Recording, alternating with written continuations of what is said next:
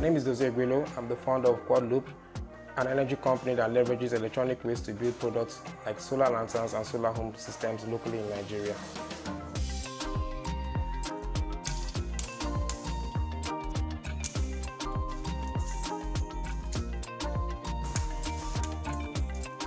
We wanted to see if people can actually pay for local products made in Nigerian local electronics.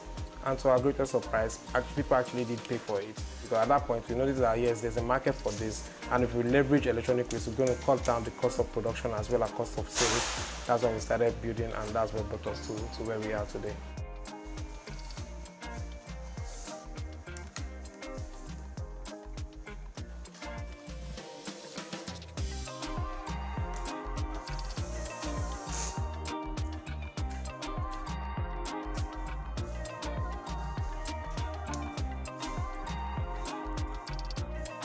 This small business need one way or the other, you need electricity to function.